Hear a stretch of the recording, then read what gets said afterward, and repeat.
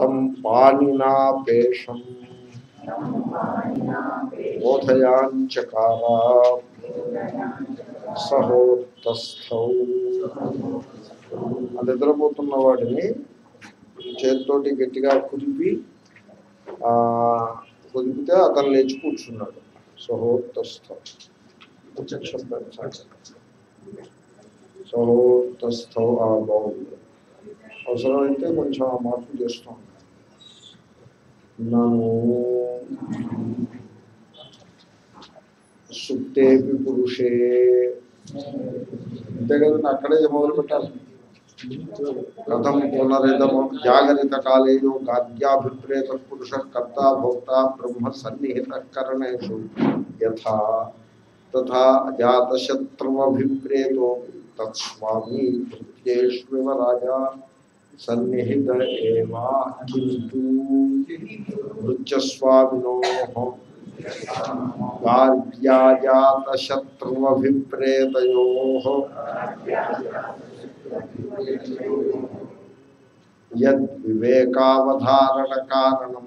యద్వివేకావధారణ కారణం తత్సంకీర్ణత్వాద్ అనవి- అనవధారిత విశేషం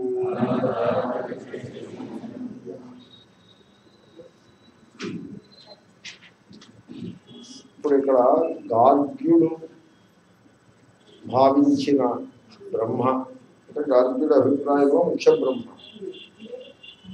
అది ప్రాణం. ఆ సంబోధనని బట్టి స్పష్టమైంది కదా. అది ప్రాణం. వెరాజ్ అజాత శత్రువు చెప్పబోయే ముఖ్య బ్రహ్మ చైతన్యం. ఇద్దరికి తేడా అది. ప్రాణమా చైతన్యమా? ఇప్పుడు ఇక్కడ శంకర్లు ఏమంటున్నారంటే మృత్యులు ఎక్కువైపోతే రాజు కనపడకుండా పోతాడు. నిన్న మనం చూసాం మృత్యులో పది మంది ఉన్నారనుకోండి మధ్యలో రాజు కనపడకుండా అయిపోతాడు. ఒకప్పుడు అలా ఉంటుంది. వాళ్ళు ఏం చేస్తారంటే ఈ సెక్యూరిటీ గార్డ్స్ని ఆ మనిషి కంటే పొడిగాటి వాళ్ళని పెట్టుకుంటారు. ప్రెసిడెంట్ ఇప్పుడు అమెరికన్ ప్రెసిడెంట్ ఫైవ్ టెన్ అనుకోండి ఫైవ్ ఫీట్ టెన్ ఇంచెస్ అనుకోండి ఆయన చుట్టూ ఉండే immediate security guards minimum six two six three అలా సో దట్ వాళ్ళు ఆ ప్రెసిడెంట్ని కవర్ చేసేస్తారు చుట్టూ. వాళ్ళని అటాక్ చేయాలనుకున్నా వీళ్ళు కవర్ చేస్తారు. అలా. కాబట్టి ఒకప్పుడు మృత్యులు ఎక్కువైపోతే మధ్యలో ఉండే రాజు కనపడకుండా పోతాడు. జాగ్రత్త జాగ్రత్త అవస్థలో పరిస్థితి అదే. జాగ్రత్త అవస్థలో తెలివి బ్రహ్మ తెలివి ముఖ్య బ్రహ్మ. మీరు అసలు ఈ ఆర్గ్యుమెంట్ వెనకాల ఉండే స్పిరిట్ ఏమైనా పట్టుకున్నారా? స్పిరిట్ ఏమిటంటే బ్రహ్మ ఇక్కడ ఉంది మొత్తానికి ఏదో రూపంలో ఇక్కడ ఉంది అది స్పిరిట్. చూడండి ఉపనిషత్తు యొక్క విషయాన్ని ఎలా ఉంటుంది. బ్రహ్మ వైకుంఠంలో ఉందా కైలాసంలో ఉందా అని దెబ్బలాడుకునే వాళ్ళు ఉన్నారు. బ్రహ్మ అలా దెబ్బలాడే వాళ్ళు ఉన్నారు. కానీ ఇక్కడ ఉపనిషత్ సిద్ధాంతంలో అధ్యాత్మంలోనే ఉంటుంది ముఖ్య బ్రహ్మ పరబ్రహ్మ అధ్యాత్మంలోనే ఉంటుంది. అది దట్ ఈస్ గివెన్ గార్గ్యుడికి కానీ అజాత శత్రువుకి కానీ ఆ అంశంలో విభేదమే ఉంది. అధ్యాత్మంలోనే ఉంటుంది ఇంక దాంట్లో సందేహం ఉంది. అయితే అధ్యాత్మంలో ఏది పరబ్రహ్మ? తెలివి ప్రాణము. దీంట్లో ప్రాణము పరబ్రహ్మ అని అంటాడు గార్గ్యుడు కాదు తెలివి పరబ్రహ్మ అంటాడు అజాతశత్రువు. ఈ తేడా మీకు ఈ గార్గ్యుడికి అజాతశత్రువుకి ఉండే తేడా మీకు తర్వాత పురాణ లిటరేచర్లో కూడా కనపడుతుంది. పురాణ లిటరేచర్లో శక్తి శివుడు అని ఉంటుంటారు శక్తి అంటే పవర్ శివుడు అంటే శక్తిమాన్. పవర్ గలవాడు. పవర్ని ఆరాధించేవాడు ఒకడు. పవర్ గల చేతనుని ఆరాధించేవాడు శివుణ్ణి ఒకడు ఆరాధిస్తే శక్తిని ఇంకొకడు ఆరాధిస్తాడు. సో మీకు శివభక్తులు ఉంటారు శక్తి భక్తులు ఉంటారు. శాక్తేయుడు శాక్తేయులు. ఈ శక్తి భక్తులు శాక్తేయులు ఉంటారు చూసారా? వాళ్ళు శివుడికి ఏదో ఇంకా శక్తి మొగుడు కనుక అలాగా ఆ శివుని అలాగా అటుపెట్టేది కల్లా అయితే కింద పారేయడానికి ఎప్పుడైనా వాళ్ళు వెనక అంచేత వాళ్ళు ఏం చేస్తారంటే ఆ శివుని శివాకారే మంచే పరమ శివ పర్యంకడలయా అని పద్యాలు శ్లోకం అది శంకర్లే రాశారు. పైగా అదొకటి. శంకర్లు అంటే చాలామంది శంకర్లు ఉన్నారు కాబట్టి ఏదో ఒక శంకర్లు రాసి ఉండొచ్చు. ఈ శంకర అనే పేరు సర్వత్రా ఉన్నదిగా. ఆ దేవి దేవి అంటే శక్తి స్వరూపిణి. మన్ మంచము అంటే ఈ వత్సవం అనే పదం అంటే నాకు చాలా ఇష్టం. ఎందుకంటే సంస్కృతంలో తెలుగులో ఒకే అర్థం. ఏమీ తేడా లేదు. సో మంచే అంటే సప్తమే ఏకవచనం రాబేలాగా మంచము నందు చక్కగా మీరు రాసుకోవచ్చు. మంచ అంటే మంచము. ఓకే? ఇటు సంస్కృతంలో చా అన్నారు. చ అంటారు. మంచ భాగవతంలో కూడా కంసవర ఘట్టంలో కంసుడు పెద్ద ఎత్తైన మంచము మీద మంచే కూర్చున్నాడు అని శివాకారే మంచే. ఆవిడ మంచం మీద కూర్చుంటుంది. ఎవరా మంచం? ఈయనే శివుడే శివుడే వంశ వంశం కింద చేసి కూర్చుంటుంది. అని ఈ విధంగా వర్ణిస్తారు. శివుడిని ఊరికే అడ్డుపెట్టారు. ఫోకస్ అంతా శక్తి మీద. అదే శైవులు ఉన్నారనుకోండి శక్తి ఉంటుంది పక్కన ఫోకస్ అంతా శివుడి మీద. అసలు ఈ భేదం ఎలా వచ్చేస్తుంది? పురాణ లిటరేచర్లో వైష్ణవలో కూడా అలాగే ఉంటుంది. విష్ణువుకి ఫోకస్ లక్ష్మి ఉంటుంది. ఊరికే ఆయన వక్షస్థలం మీద ఒక బంగారు రేఖ వలె ఉంటుంది.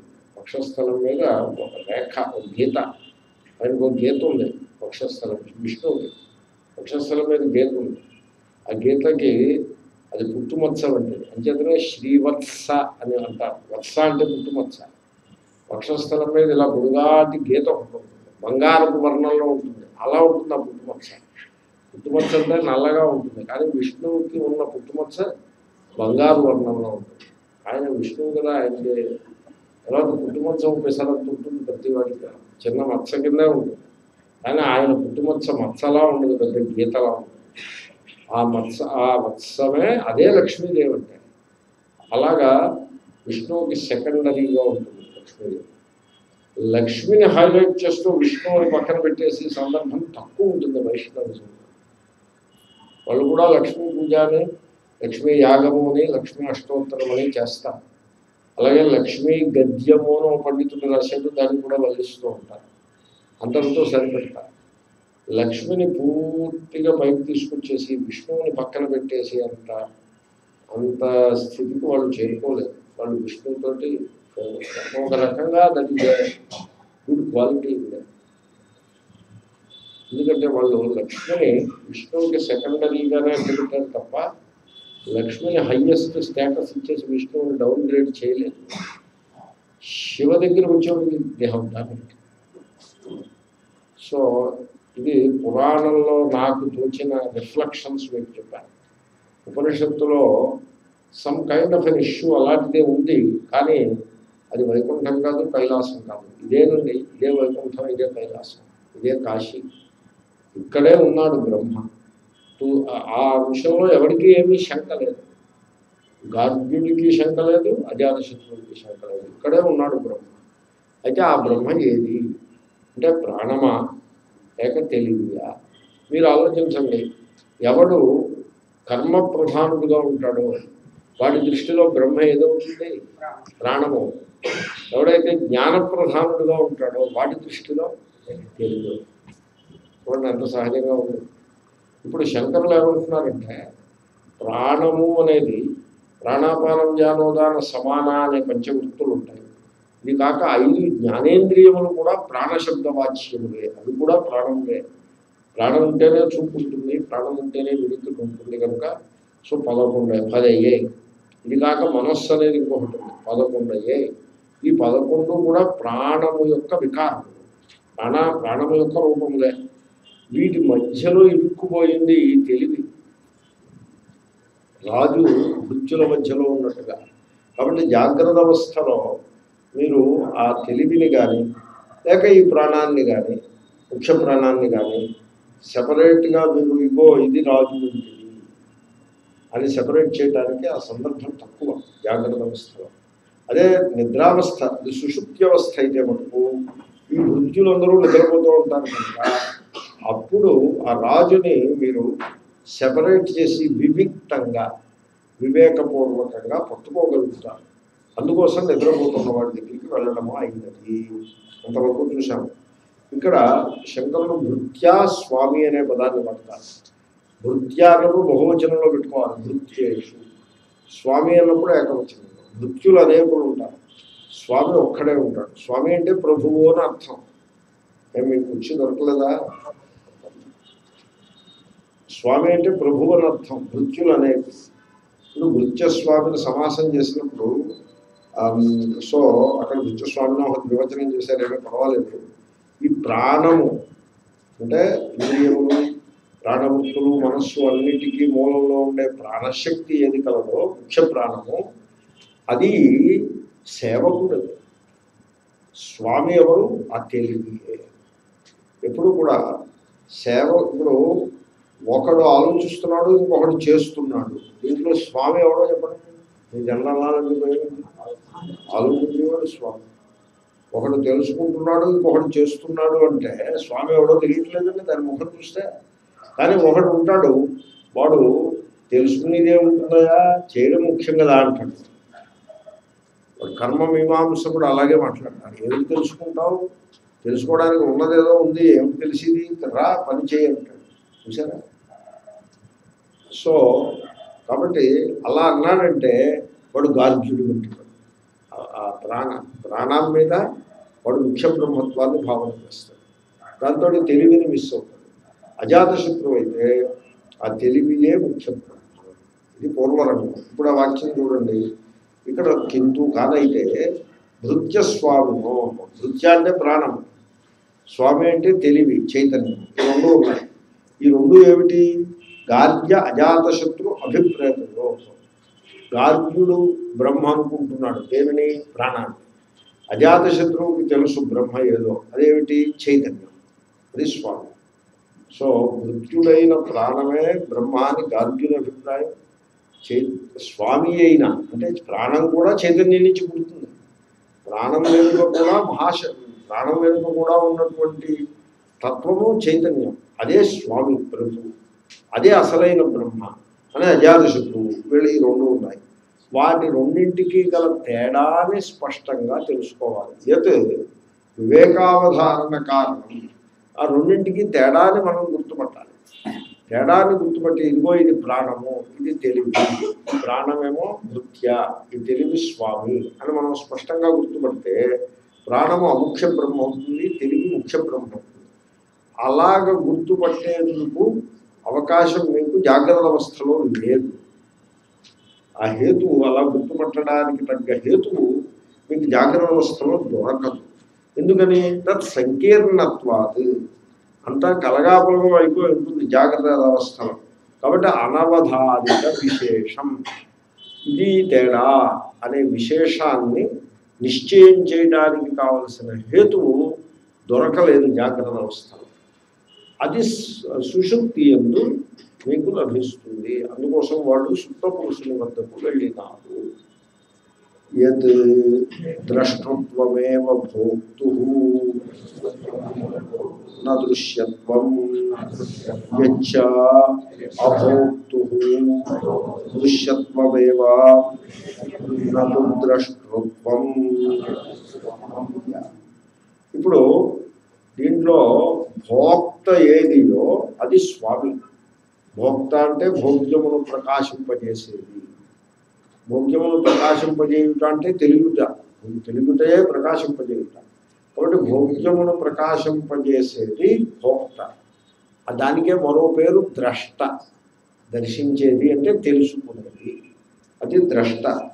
ఇప్పుడు ఏది భోక్తయో అది ద్రష్టయే అగును ఏది భోక్తయో అంటే భోగ్యమును ప్రకాశింపజేసేది ఏదియో అది ఎప్పటికీ తెలుసుకునేది మాత్రమే అవును.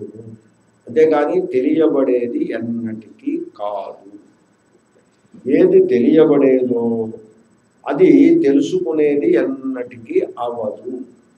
ఎప్పటికి ఎప్పుడు తెలియబడేదిగానే ఉండిపోతుంది.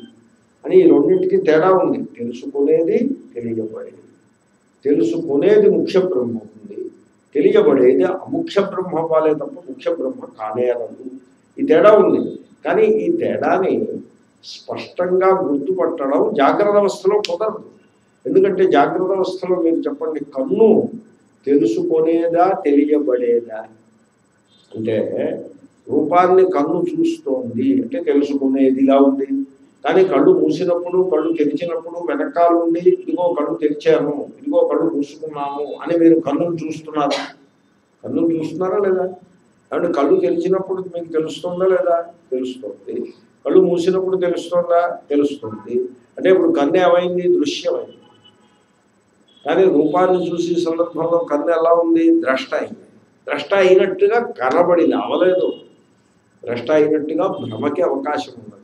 ఈ విధంగా కన్ను దగ్గరకు వచ్చేప్పటికీ అది ద్రష్టాయా దృశ్యమా?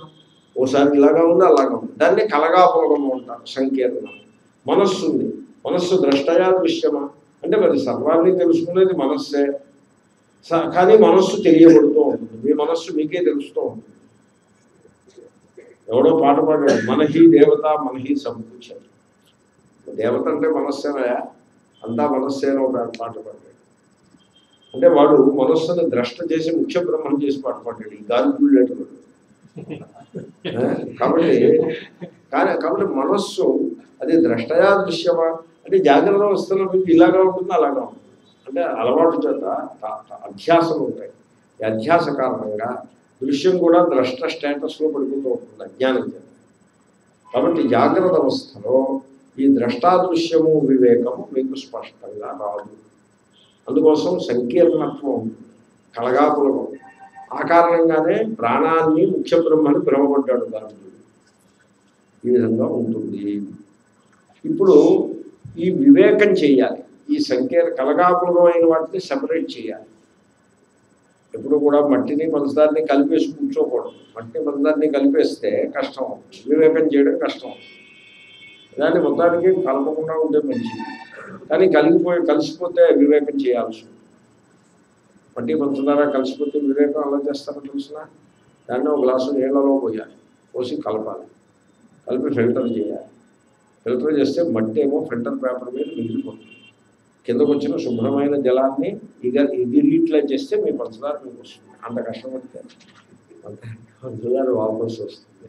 సో మట్టికి పంచదారికి వివేకం అలా చేయాలి. ఇప్పుడు ఇక్కడ ప్రాణశక్తికి తెలివికి వివేకం చేయాలి. వివేకం చేయాలంటే తెలివిగా ఉంటే ఆ వివేకమే ఉంది అంతా కలగాపులమే ఉంది కాబట్టి ఏం చేయాలి వీళ్ళు?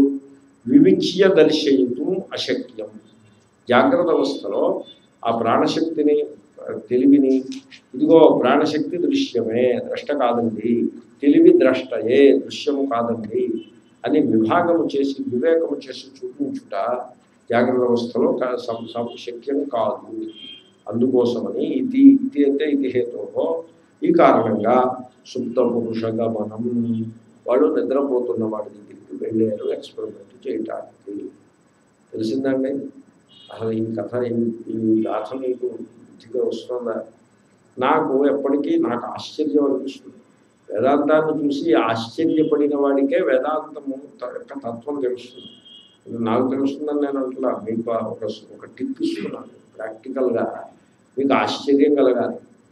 అలాగా అలాగా అని ఆశ్చర్యం కలుగుతూ ఉండాలి.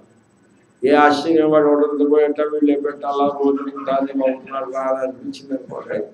అది ఏదోలా కాలక్షేపం ఉంటుంది తప్ప దాని తప్పు లేదు. ఇక్కడ నాకు ఆశ్చర్యం ఏంటంటే ఇప్పుడు గార్గ్యులు అజాత శత్రువు చర్చ దేని మీద చేస్తున్నారంటే బ్రహ్మ గురించి చర్చ. ఏది ముఖ్య బ్రహ్మ? ఎక్కడ చూసుకుంటున్నారు ఎక్కడ వెతుక్కుంటున్నారు ముఖ్య బ్రహ్మలు మీరు అది గమనించారా? అధ్యాత్మంలో వెతుక్కుంటున్నారు. వాళ్ళు అధ్యాత్మం విడిచిపెట్టి ఒక్క సెకండ్ కూడా బయటికి వెళ్ళి అధిభూతంలో వెతికి ప్రయత్నం చేయట్లేదు. అది దైవం కూడా వాళ్ళు ప్రయత్నం చేయట్లేదు. ఎంతసేపటికి అధ్యాత్మంలో వెతుక్కుంటున్నారు. దీన్ని చూస్తే నాకు ఏమనిపిస్తుందంటే మనం తత్వానికి ఎంత దూరంగా వెళ్ళిపోయామా అని అనిపిస్తుంది. ఎందుకంటే మనం అధ్యాత్మంలో వెతికి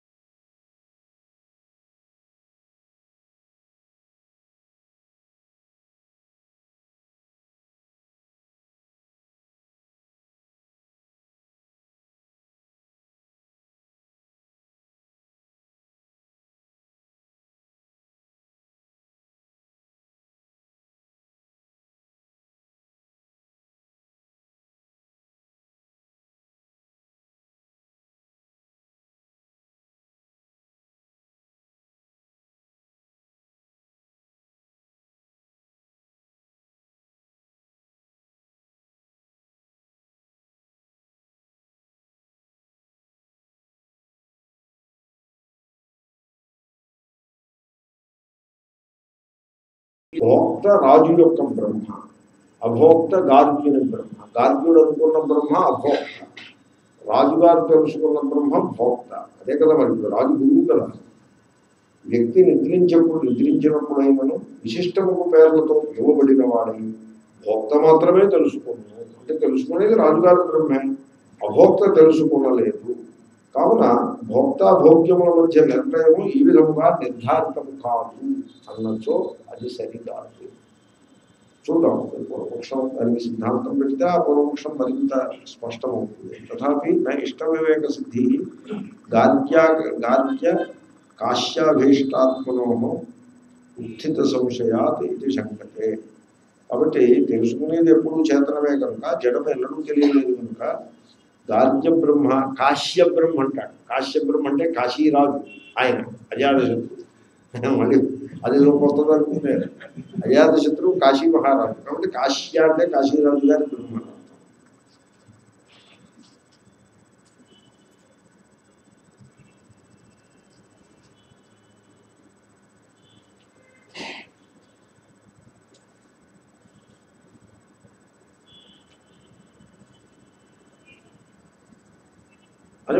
అని పూర్వపక్షానికి సిద్ధాంతం చాలా స్పష్టంగా ఉంది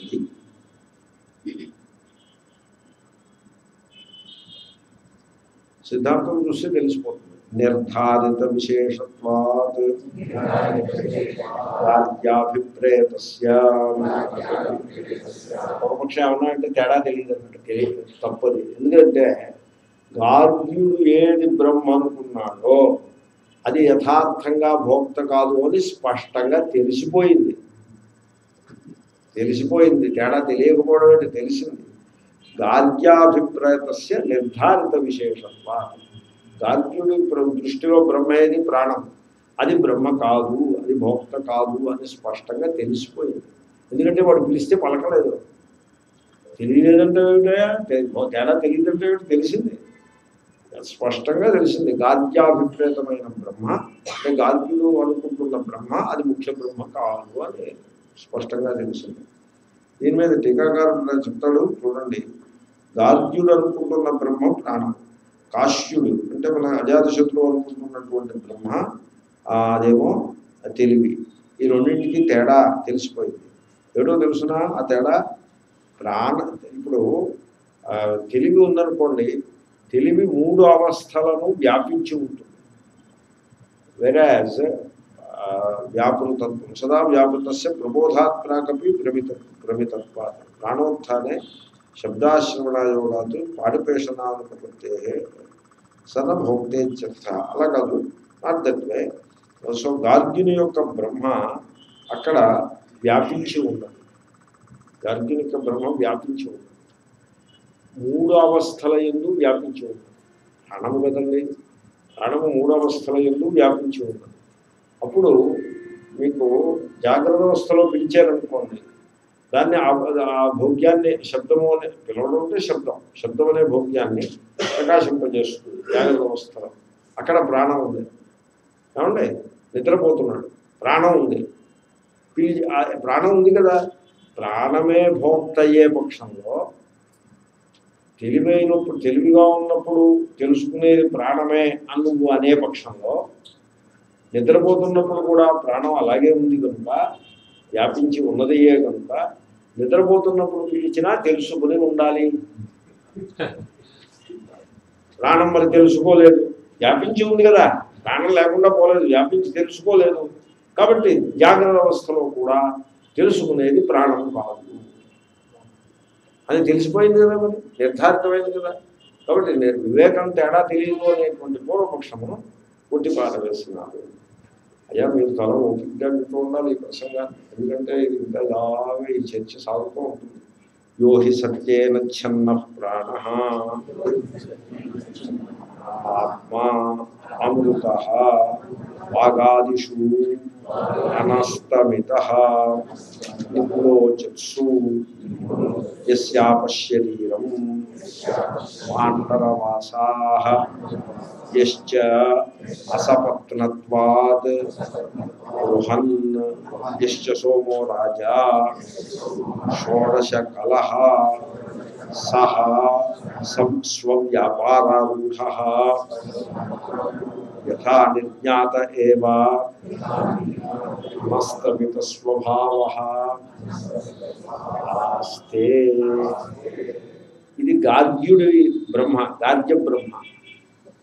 గార్గ్య బ్రహ్మ అంటే గార్గ్యుడు ముఖ్య బ్రహ్మ అనుకున్నది అది ప్రాణం. ఇప్పుడు శక్తిని ఉపాసన చేసేవాడు శివుణ్ణి పక్కన పెట్టి ఆ శక్తిని బాగా హైలైట్ చేసుకుంటూ పోతాడు. ఎంత హైలైట్ చేస్తాడంటే అదంతా అయ్యేప్పటికీ మీకు ఏమనిపిస్తుందంటే శక్తి ముఖ్యమంది శివుడి మీద అనవసరం అనిపిస్తుంది.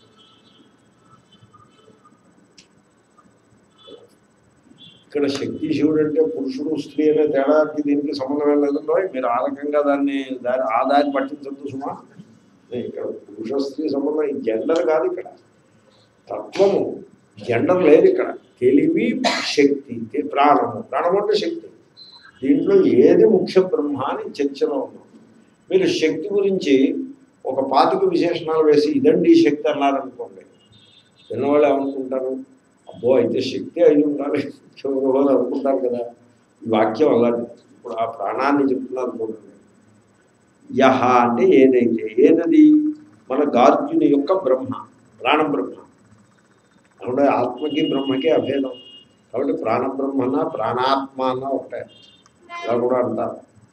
ఈ పదాలన్నీ అలా వాడుతూ ఉంటారు. మీకు ఆ తేడా స్పష్టంగా తెలుస్తూ ఉండాలి. ఏదైతే గార్గ్య బ్రహ్మ గలదో హీ ఎందువల ఎందువలనగా ఏమంటే నిద్రపోతున్న వాడిని పిలిస్తే పలక్కపోతే ప్రాణము బ్రహ్మ కాదు అని మీరు ఎలా చెప్పగలిగారు? ఎందుకంటే ప్రాణము వ్యాపించియే ఉన్నది నిద్ర ఎందు కూడా.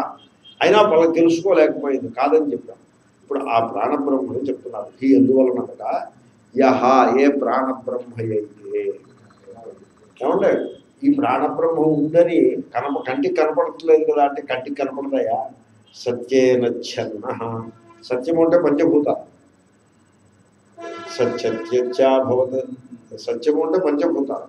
ఇది అంతకుముందు వచ్చింది ఆ బ్రాహ్మణంలో. ఈ పంచభూతముల చేత కప్పివేయబడింది ప్రాణబ్రహ్మ. మీకు పంచభూతముల చేత నిర్మాణమైన దేహం కనపడుతుంది తప్ప దాని దానిలో ఉన్న ప్రాణబ్రహ్మ కనపడదు. ఎందుకంటే ఆ సత్యము చేత కప్- సత్యం అంటే ట్రూత్ కాదు పంచభూతం దాని చేత కప్పివేయబడింది ప్రాణ యహ ప్రాణ సత్యరక్షణ ఏ ఆత్మ అదే ముఖ్య ఆత్మ అనుకుంటున్నాడు ఎవరు? గార్గ్యుడు అది ముఖ్య ఆత్మ కాదు అముఖ్య ఆత్మ. ఏ గార్గ్యుడు దాన్నే ముఖ్య ఆత్మ అముఖ్య ఆత్మను పట్టుకుని ముఖ్య ఆత్మ ఎందుకు అనుకుంటున్నాడో తెలుసునండి అమృత. అది మరణించదు మరణించే దేహాన్ని ఆత్మ అనుకోవట్లేదట అతను తెలివి తక్కువ వాడైనా మరీ అంత తెలివి తక్కువ వాడు కాదు. మరణించే దేహాన్ని ఆత్మ అనుకోవట్లేదు అతను ఏది ఏ ప్రాణశక్తిని ఆత్మ అనుకుంటున్నాడో అది మరణించదు. కాబట్టి అతను కూడా కొంత తెలివితేటలున్నాయి అమృత. తర్వాత దాని మహిమ ఏమిటంటే వాగాదిషు మూలోచత్సు అనస్తమిత. వాక్కు ఇంద్రియము కన్ను ఇంద్రియము. ఇంద్రియాలన్నీ అస్తమిస్తాయి. నిమ్లోచత్ నిమ్లోచత్సు అంటే అస్తమిస్తాయని అర్థం. నిమ్లోచత్ అంటే అస్తమించుకోండి ఇంద్రియాలన్నీ అస్తమిస్తాయి. అస్తమిస్తాయంటే విలీనం అయిపోతాయి.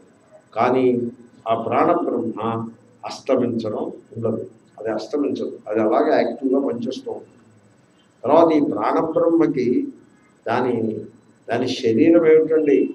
దాని శరీరం అంటే దాని సారం ఏమిటి? ఆ యస్య ఆపశరీర మనం త్రాగిన నీరే దానికి పుష్టి.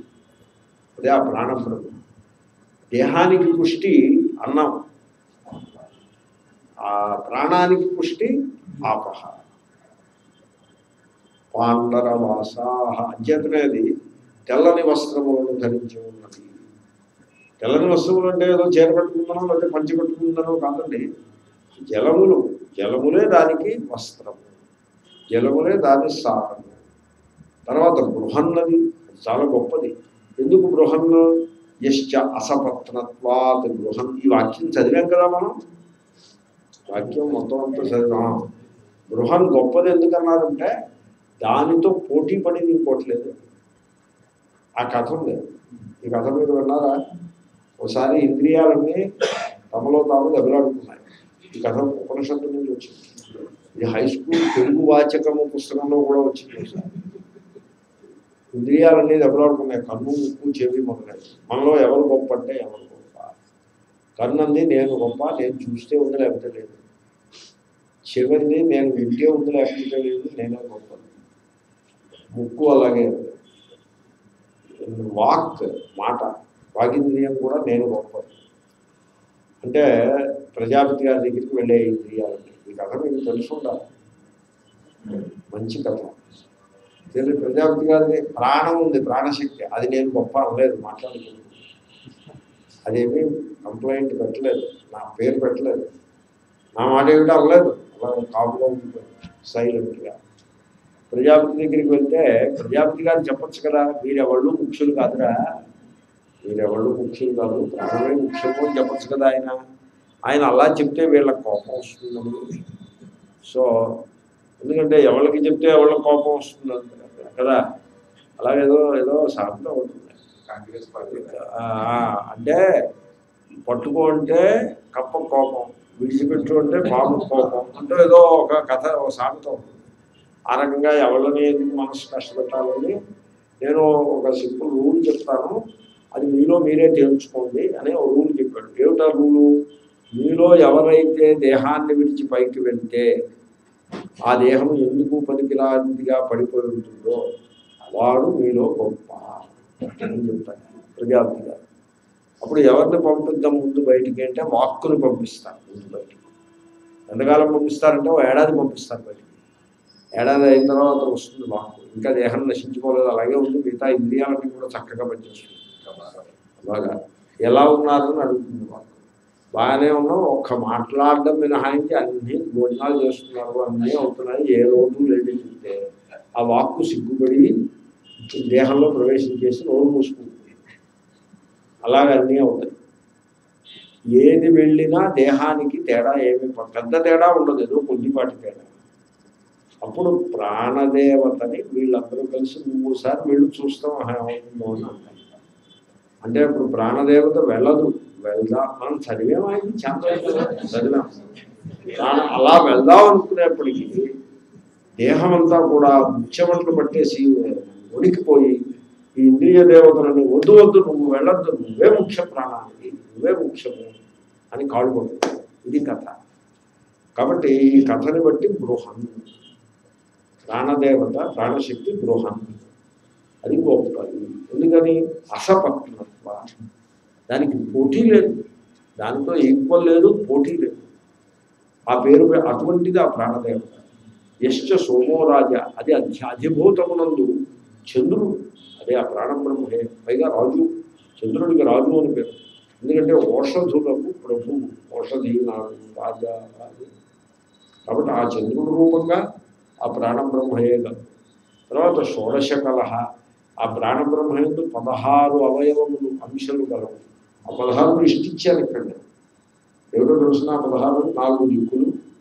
పృథివీ అంతరిక్షము ద్యులోకము సముద్రము అగ్ని సూర్యుడు చంద్రుడు మెరుపు అధ్యాత్మ ప్రాణము కన్ను చెవి మనస్సు అనే పదహారు కళలు ఉన్నాయి. ప్రాణానికి లోపల బయట తేడా ఏం లేదు. లోపల ఉన్న ప్రాణమే బయట ఉంది బయట ఉన్న ప్రాణమే లోపల ఉంది. కాబట్టి ప్రాణము సర్వవ్యాపకము. అంచేతనే నాలుగు దిక్కులు ప్రాణము చేత వ్యాప్తములై ఉన్నాయి. పృథివీ అంతరిక్షము.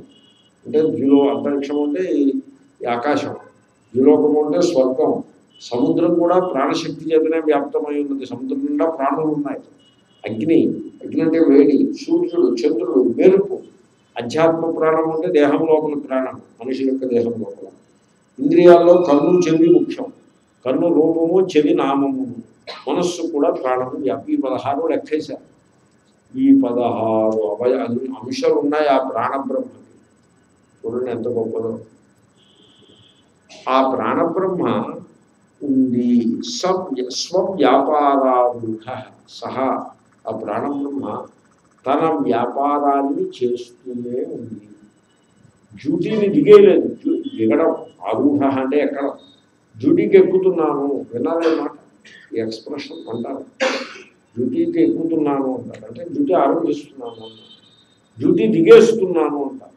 ఇక్కడ ప్రాణబ్రహ్మ డ్యూటీ దిగేయలేడు డ్యూటీ ఎక్కియే ఉన్నది. స్వవ్యాపార ఆరూఢ యథానిజ్ఞాత ఏవ అనస్తమిత స్వభావ ఆస్తే.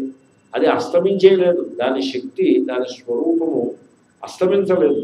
అస్తమించకుండానే దాని యొక్క శక్తి మనకంతా తెలుస్తూనే ఉంది. మనిషి నిద్రపోతున్న మనిషిని చూస్తే వాడు గాలి పీలుస్తూ ఉంటాడు విడిచిపెడుతూ ఉంటాడు. కాబట్టి మనకి సుస్పష్టంగా తెలుస్తూ దాని శక్తి అస్తమించకుండా అలాగే ఉంది అది ప్రాణప్రదం ఆ ప్రాణము ఏ లక్షణములతో కూడి ఉన్నదిగా తెలియబడినదో అదే విధముగా అస్తమించని స్వభావము గలదియే ఉన్నది. నేను ఓపికగా రాశాను యథా నిజ్ఞాత అంటే ఏ లక్షణములతో కూడి ఉన్నదిగా తెలియబడినదో అదేవిధముగా అని అర్థం యథా జ్ఞాత అంటే అనస్తమిత స్వభావ అంటే అస్తమించని స్వభావము గలది. అస్తమించని అంటే ఆగిపోని. స్వభావం అంటే చలనం ఇది ప్రాణం యొక్క స్వభావం చలనం. ఆగిపోకుండా అలాగే మీరు ఎప్పుడైనా ధ్యానంలో ఆ గాలిని పరిశీలిస్తే తెలుస్తుంది. ఆ పొట్ట పైకి వెళ్ళి లోపలికి వెళ్తూ ఉంటుంది పైకి వెళ్ళి లోపలికి వెళ్తుంది. మీరేం చేయరు. మీరు పొట్టని పైకి లోపలికి మీరేం పట్టుకెళ్తాం దానంతట అదే వెళ్తూ ఉంటుంది చెస్ట్ ఎక్స్పాండ్ అయ్యి కంట్రాక్ట్ అవుతుంది. వ్యా సంకోచం వ్యాకోచించింది చెంది సంకోచం మళ్ళీ పెరిగి తగ్గు. చెస్ట్ మీరేమీ చేయరు. మీరు చేయలే అది దానంతటా అది ఎక్కుతూ ఉంటుంది. ప్రాణశక్తి నిజంగా చాలా గొప్పది. దేహంలో ఉండే ప్రాణశక్తి. వీడు దేహాన్ని పట్టుకుని వేలాడతారు తప్ప ఆ ప్రాణశక్తిని పట్టుకోరు హాస్పిటల్లో కూడా వీడు దేహాభిమానము మధ్యమాంసాభిమానం పెట్టుకుంటాడే తప్ప మరణించే దేహము నేను అనుకుంటాడు తప్ప మరణించని ప్రాణము నేను అనుకోను. అక్కడ సమస్య.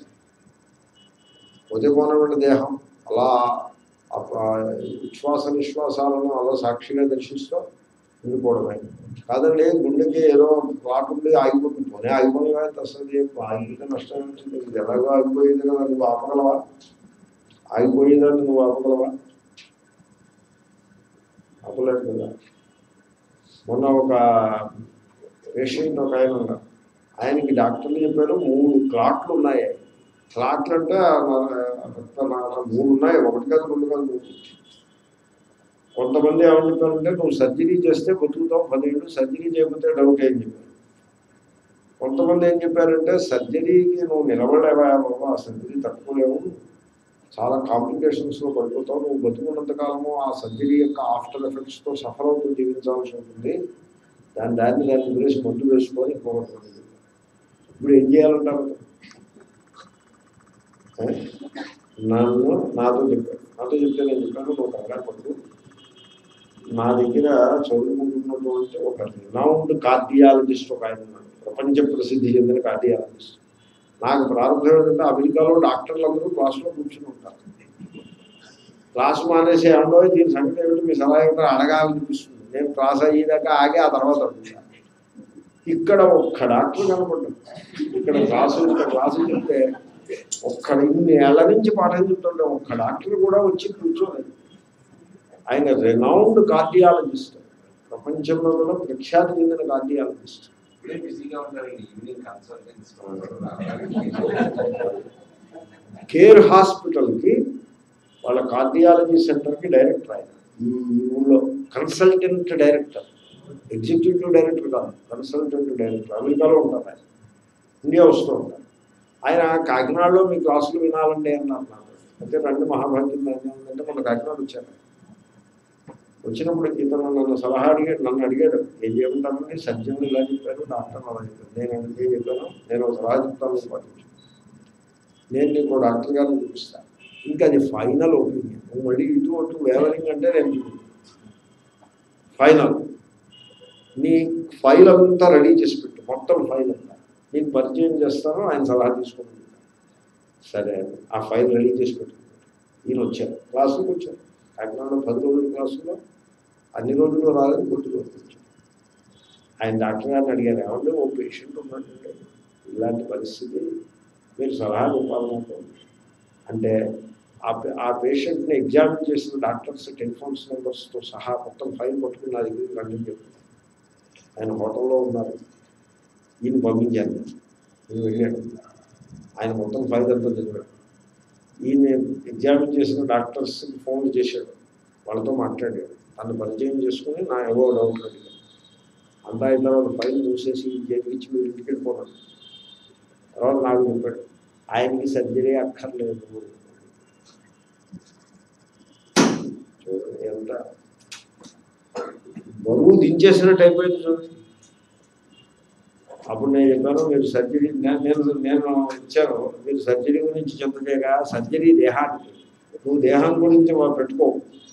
ధ్యానం చేసాం అక్కడ. ప్రాణ ప్రాణశక్తి మీద ధ్యానం. ఆ ప్రాణాన్ని పట్టుకో ఆ ప్రాణం వెనుకున్న చైతన్యాన్ని తర్వాత పట్టుకుంది కానీ ముందు ప్రాణాన్ని పట్టుకో గార్గ్యుడు పట్టుకున్నట్టుగా.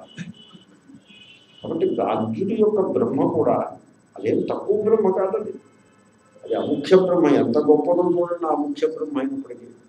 కానీ ఈ బ్రహ్మను కూడా ఒప్పుకోడు అజాత శత్రువు దీనికంటే పై బ్రహ్మగా ఆయన వెళ్తాడు. ఎనీవే కాబట్టి తస్మిన్ యథానిర్జ్ఞాత ఏవ అనమిస్ అనస్తమిత స్వభావ అస్తే ఆ డాక్టర్ గారు ఏం చెప్పారంటే మూడు క్లాట్లు అయితే ఉన్నాయి కానీ అతని దేహంలో ప్రాణశక్తి పనిచేస్తోంది. ఆ ప్రాణశక్తి ఆ క్లాట్లని అదే సరి చేసుకుంటుంది మీరు సర్జరీ ఏం చేయక్కర్లేదు అని చెప్పాడు. మొత్తం ఫైల్ అంతా స్టడీ చేసి. తర్వాత సర్జన్లు కంగారు పెడతారు మీరు కంగారు పడద్దని కూడా చెప్పాడు. ఆ సర్జన్లు కూడా ఇప్పుడు ఆయనకి సర్జరీ అని కంగారు పెట్టి మళ్ళీ ఎక్కించకుండా మీరు ఆయన అలా బతకలే వెళ్ళి అని చెప్పాడు? ఆయన అజాసత్తుడు నిజంగా తస్మాత్. ఓకే తస్మా కాదు నచ అన్యస్య కస్యచిత్. వ్యాపార. తస్మిన్ కాలే రాజ్యేణ అభిప్రేయతే. తద్విరోధిన కాబట్టి గార్గ్య బ్రహ్మ అంటే ప్రాణము. అది మోక్త కాదని తెలిసిపోయింది. తెలియలేదని పూర్వపక్షం అంటున్నాడు. తెలియకూడదని తెలిసిపోయింది. ఎందుకంటే గార్గ్యుని అడుగు గార్గ్యుని ప్రశ్నడు ప్రశ్న నిద్రపోతున్నాడు కదా. ఇప్పుడు వాడిని ఆ నిద్రపోతున్న వాడిని వ్యాపించి ఆవేశించి ఉన్నది ఏది అని అడుగు. అడిగితే గార్గ్యుడు ఏమని చెప్తాడు? ప్రాణబ్రహ్మయే గలదు చెప్తాడు. ఓకే. ప్రాణబ్రహ్మ కాకుండా దానికి భిన్నమైనది ఇంకొకటి. ఈ సుప్త పురుషుని ఎందు ఉందా? చెప్పు. ఎందుకంటే ఇంకోటి ఉందనుకోండి అప్పుడు మళ్ళీ ఇదే ఆధారం మళ్ళీ సందేహమే. మళ్ళీ వివేకానికి తేడా వస్తుంది. ఈ సుప్త పురుషుని ఎందు ప్రాణబ్రహ్మ కాకుండా ఇంకొకటి కూడా ఉండి వ్యాపారాన్ని చేస్తుందా? ప్రాణబ్రహ్మ అయితే వ్యాపారం చేస్తోంది.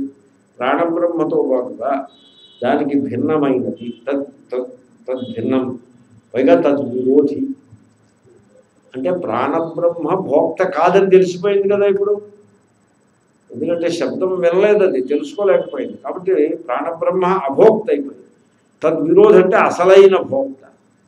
అసలైన భోక్త తన వ్యాపారాన్ని చేస్తూ భోగ్యాన్ని ప్రకాశింపజేస్తూ నీకు తెలిసి ప్రాణం కంటే వేరే ఇంకొకటి ఉందా? అది గార్జునుడు అడిగితే ఏమని చెప్తాడు? లేదని చెప్తాడు. ఎందుకంటే అతనికి ప్రాణబ్రహ్మయే తెలుసు తప్ప ఆ ఆత్మ చైతన్య బ్రహ్మ అతనికి తెలియదు కదా. లేదని చెప్తాడు. కాబట్టి ఈ వివేకం ఎంత స్పష్టంగా వచ్చేసిందంటే ఏ బ్రహ్మయే వ్యాపారాన్ని చేస్తూ వ్యాపించి ఉంది ఏది ముఖ్య బ్రహ్మని గార్జుడు అనుకున్నాడో అది భోక్త కాదు అని స్పష్టంగా తెలిసిపోయింది. ఇప్పుడు చూడండి అన్యస్య కశ్చిత్ వ్యాపార మరొక తత్వము ఏదైనా సరే దాని యొక్క ఫంక్షన్ తెలియట కానీ వాట్ ఎవర్ ఫంక్షన్ ఆ తస్మిన్ కాలే ఆ నిద్రపోయే కాలం ముందు ఉంది అని గార్గ్యుడు అనుకోవటం లేదు. గార్గ్యేణ నా అభిప్రేయతే. తద్విరోధిన అంటే ఆ ప్రాణము కంటే భిన్నమైనది ప్రాణము అభోక్త అయితే భోక్త అయ్యేది ఇంకొక బ్రహ్మ ఉందని గార్గ్యుడైతే అనుకోవటం లేదు. తస్మాత్ స్వనామభి ఆమంత్రితేన ప్రతిబోద్ధవ్యం తస్మాత్ అంటే అందువలన అందువలన అనగా ఏమిటి? గార్గ్యుడికి ఇష్టమైనటువంటి ప్రాణబ్రహ్మ కంటే భిన్నంగా మరో బ్రహ్మ యొక్క వ్యాపారము శుద్ధ పురుషుని ఎందు కనబడటం లేదు కాబట్టి ఆ గార్గ్య బ్రహ్మనే పేర్లు పెట్టి పిలిచారు. ఆ గార్గ్య బ్రహ్మ ప్రాణ బ్రహ్మ. దానికి పేర్లు ఉన్నాయి బృహన్ పాండరవాసా సోమరాజ అని పేర్లు. ఆ పేర్లనే సంబోధన విభక్తులకు మార్చి పిలిచారు. బృహన్ పాండరవాస సోమరాజన్ అని పిలిచారు. పిలిస్తే ప్రాణబ్రహ్మ భోక్త అయ్యే పక్షంలో ప్రాణబ్రహ్మ ఇదిగో నేనే అని స- సమాధానం చెప్పాలి తెలివి వచ్చేసేయాలి. కానీ నా ప్రత్యక్షత అది సమాధానం చెప్పలేదు. వాడికి తెలివి రాలేదు. అంటే ప్రాణబ్రహ్మ భోక్త కాదు అని కొట్టొచ్చినట్టుగా తెలిసిపోయింది. తస్మాత్ పారిశేష్యాత్ రాజ్యాభిప్రేత అభోక్తృత్వం బ్రహ్మణ. పారిశేష్య న్యాయము అని ఉంటుంది. ఇప్పుడు ఇద్దరు ఉన్నారండి. ఇద్దరు ఉంటే వాళ్ళలో ఒకడు ఒకడు బ్రహ్మ కాడు అంటే అప్పుడు బ్రహ్మ ఎవరు అవుతారు రెండోవాడు అవుతాడు. దాన్ని పారిశేష్య న్యాయము అంటారు. సో కాబట్టి పారిశేష్య న్యాయాన్ని బట్టి గార్గ్యుడు అనుకున్న ప్రాణబ్రహ్మ ఏదైతే కలదో అది యథార్థమైన భోక్త కాదు. అంటే భోగ్యమును ప్రకాశింపజేసే ఆ బ్రహ్మ అది కాదు. కాబట్టి గార్గ్యుడి ప్రాణ బ్రహ్మకి భోగ్యమును ప్రకాశింపజేసే సామర్థ్యం లేదు. అంతే కాబట్టి సుప్త పురుషుడి దగ్గరికి వెళ్ళడము ఎంతో బాగుంది. ఇంకా దాన్ని వివరిస్తున్నాను. సపోజ్ ప్రాణబ్రహ్మకి భోగ్యమును ప్రకాశింపజేసే శక్తి ఉండి కూడా అది చేయలేదంటావేమో ప్రాణబ్రహ్మకి భోగ్యాన్ని ప్ర- ప్రాణబ్రహ్మ భోక్తయే. దానికి భోగ్యాన్ని ప్రకాశింపజేసే సామర్థ్యం ఉంది. కానీ ఆ టైంలో అది చేయలేదు. ఏమిటనుకుంటున్నారు? ఈ విచారం ఎప్పటికో తెలియలేం కాదు. అని మళ్ళీ అడ్డంగా వస్తే దాన్ని ఆక్షేప అటువంటి ఆక్షేపాన్ని చేసుకుని ఆయన సమాధానం చెప్పిస్తున్నారు దాన్ని. భోక్తృస్వభావశ్చేత్ పుంజీతైవ స్వం విషయం ప్రాప్తం. ఏమంటే చూడండి కన్నులో మీకు తెలిసే శక్తి ఉంటే తెలిసే శక్తి ఉంది కదా ఎదురుకుండా ఏది ఉంటే అది తెలిసిపోతుంది. ఎందుకంటే చూపు కంటి యొక్క స్వభావం ఏమిటి? చూపు. ఎదురుకుండా ఏది ఉంటే అది చూడకూడదు. మీరు కన్ను తెరిచి ఎదురుకుండా ఉన్నది కనబడకూడదు అంటే కుదురుతుందండి కుదరదు. ఎందుకంటే దాని స్వభావం తెలుసుకోవడం. తెలుసు తెలిసిపోతుంది అంతే ప్రకాశింపజేసేస్తుంది చెవులు మీకు ఉంటాయి. రోడ్డు మీద బస్సు వెళ్ళినప్పుడు నాకు వినపడకూడదు. అంటే చూడండి మీరు వినపడకుండా ఉంటుందేమో. వినపడబోతుంది ఎందుకని? చెవుల ఎందు వినికిడనే అనే శక్తి ఉంది. ఆ శక్తి ఉన్నంతసేపు శబ్దం కనుక దరిదాపుల్లోకి వస్తే ఆ శబ్దాన్ని అది ప్రకాశింపజేసేస్తుంది. అలాగే ఈ ప్రాణబ్రహ్మకి భోక్తృత్వము ఉన్నట్లయితే అది భోగ్యాన్ని ప్రకాశింపజేసే సామర్థ్యం దానికి ఉంటే ఆ భోగ్యం దరిదాపుల్లోకి రాగానే అది ప్రకాశింపజేయాలి. భోగ్యం ఏమిటి బృహన్ పాండరవాస సోమరాజన్ అనే శబ్దం. అది భోగ్యం. ఆ భోగ్యం రాగానే అది వెంటనే ప్రకా ప్రకాశింపజేయాలి భోగ్యాన్ని. కానీ చేయలేదు అది. కాబట్టి ప్రకాశింపజేసేదే కానీ ఆ టైంలో ప్రకాశింపజేయలేదు అనే ఆర్గ్యుమెంట్ పోసగదు నహి దగ్ధృస్వభావ ప్రకాశయితృస్వభావ సన్ మన్నిమోలపాది దాహ్యం స్వవిషయం ప్రాప్తం నదహతి ప్రకాశ్యం వా న ప్రకాశయతి ఇక్కడ రెండు నకారాలు ఉంటాయి రోయ్. రెండు నాలు ఉంటాయి. ఆ రెండు నాలుగు జాగ్రత్తగా మీరు పట్టుకుంటూ ఉండాలి హీ ఎందుచేతనంటే ఇప్పుడు నిప్పు ఉందండి నిప్పుకి రెండు ధర్మాలు ఉన్నాయి కాల్చుట వెలిగించుట. వెలుగునిచ్చుట రెండు ధర్మాలు ఉన్నాయి ఆ నిప్పు దగ్గరికి నిప్పు ఉంది అక్కడ నిప్పు ఉంది నిప్పు ఉండగా నిప్పు లేకపోతే ఇంక దృష్టాంతం నిప్పు ఆరిపోయింది కదా అనుకోండి మీరు. నిప్పు ఆరిపోతే దృష్టాంతం కాదు. కొంతమందికి ఆ శాస్త్రం యొక్క ప్రవృత్తి శాస్త్రము నడిచే తీరు తెలియని తెలియక ఏమంటే స్వామిజీ మన నిప్ప అద్భుతం ఎవరవుతుంది అంటే వాళ్ళకి ఎంతసేపు ఉంపటి ఏదో పెట్టుకుంటే అది ఆరిపోవడం అదే గుర్తొస్తుంది. మన నిప్పు ఆరిపోతే గొడ్డి ముక్క అంటుకోదు అదే వస్తుంది నిప్పు ఆరిపోవడం గురించి నేను చెప్పండి నిప్పు ఉంది.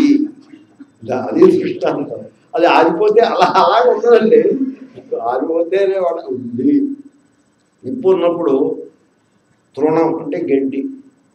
ఉలపము అని ఉంది శంకరుడు ఉలపము. నేను డిక్షనరీలు వెతికి రాసేది దానికి అర్థం. ఎండు తుక్కు అని రాశాను గమనించారా? దాన్ని సంస్కృతంలో ఉలపము అంటారు. కాదు ఉల తృణోలపము. తృణోలపము అంటే గడ్డి పోచ. ఉలపం అంటే రాశారు ఇక్కడ బాలతృణం. ఆది శబ్దానికి ఎండు తుక్కు అని రాశారు. ఎండు ఎండు తుప్పు కాగితాలు కానీ గడ్డి ఎండిపోయిన గడ్డి కానీ ఆ నిప్పు ఉంది. ఈ ఎండిపోయిన గడ్డి దగ్గరకు వచ్చింది. కొంచెం దగ్గరకు వచ్చేప్పటికి ఇదిగో ఎండిపోయిన గడ్డి అని తెలుస్తుందో తెలియదా నిప్పు దాన్ని ప్రకాశింపజేస్తుంది. ఎందుకంటే ప్రకాశింపజేయడం దాని ధర్మం కనుక ప్రకాశింపజేస్తుంది. ఇంకొంచెం దగ్గరికి వస్తే ఏం చేస్తుంది? దహించడం దాని ధర్మం కనుక దహించేస్తుంది. ఎప్పుడైనా నిప్పు ఉండి ఎండుగడ్డి పోచ దగ్గరకు వచ్చినప్పుడు దానిని ప్రకాశింపజేయదు అనేది ఉంటుందా? ఉండదు. నా దహతి ఇది నా. దాన్ని కాల్చదు అనేది ఉంటుందా? ఉండదు. నా దహతి ఇది నా నా ప్రకాశయతి ఇది నా. ఇప్పుడు ప్రాణదేవత భోక్తయే అయ్యే పక్షంలో శబ్దం దరిదాపు దగ్గరికి వెళ్ళి పిలిచాను కదా. బృహన్ పాండరవాస సోమరాజన్ మీరు ఆ బృహన్ పాండరవాసు సోమరాజన్ వదిలిపెట్టద్దు. ఎందుకంటే దాని మీద వేసే ఇంకో పూర్వపక్షం రాబోతుంది. అందుకోసం దాన్ని నేను అలా పట్టుకుని వెళ్ళాలి. బృహన్ పాండరవాసు సోమరాజ్యం అని పిలిచినప్పుడు ప్రాణదేవత కనుక భోక్తయే అయ్యే పక్షంలో వెంటనే అది ప్రకాశింపజేయాలి. అంతేగాని నేను ప్రకాశింపజేయాలా వద్దా నాలో ఇవే ఉండవు ఇంకా. ప్రకాశింపజేసి తీరాలి.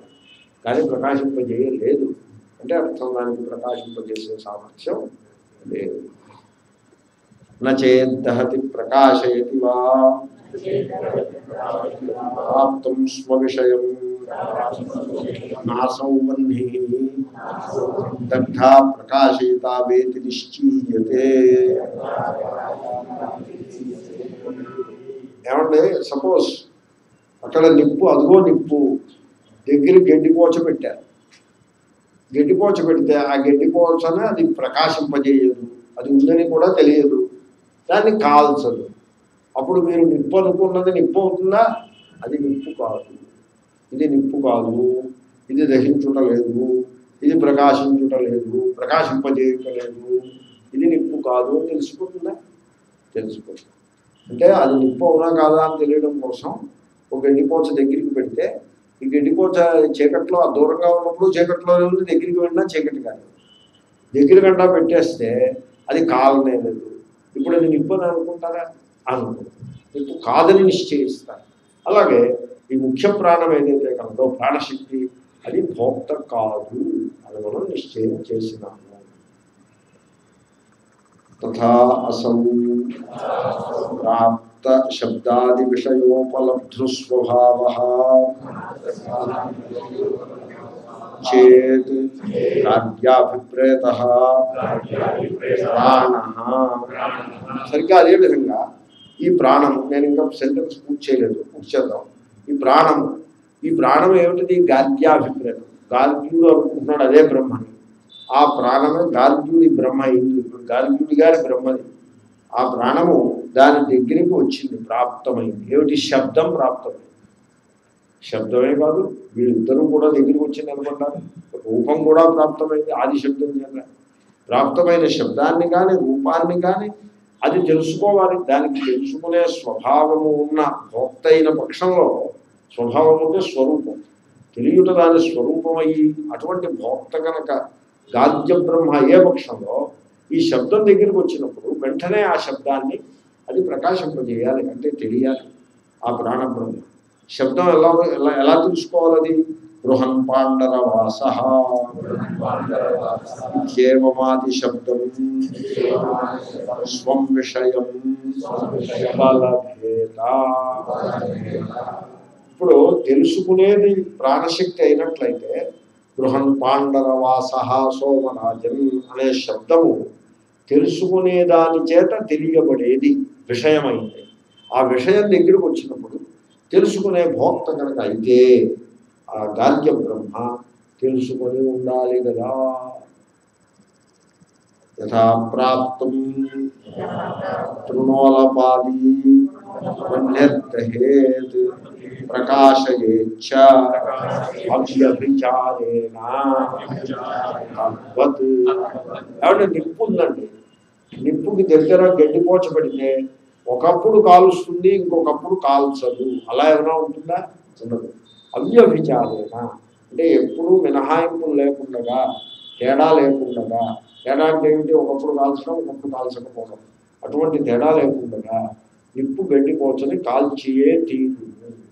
అదేవిధంగా గార్గ్యబ్రహ్మకి కనుక తిరుగుట స్వభావమైనచో తప్పనిసరిగా బృహన్ పాండరవాస అనే శబ్దాలను తెలిసి ఉండేది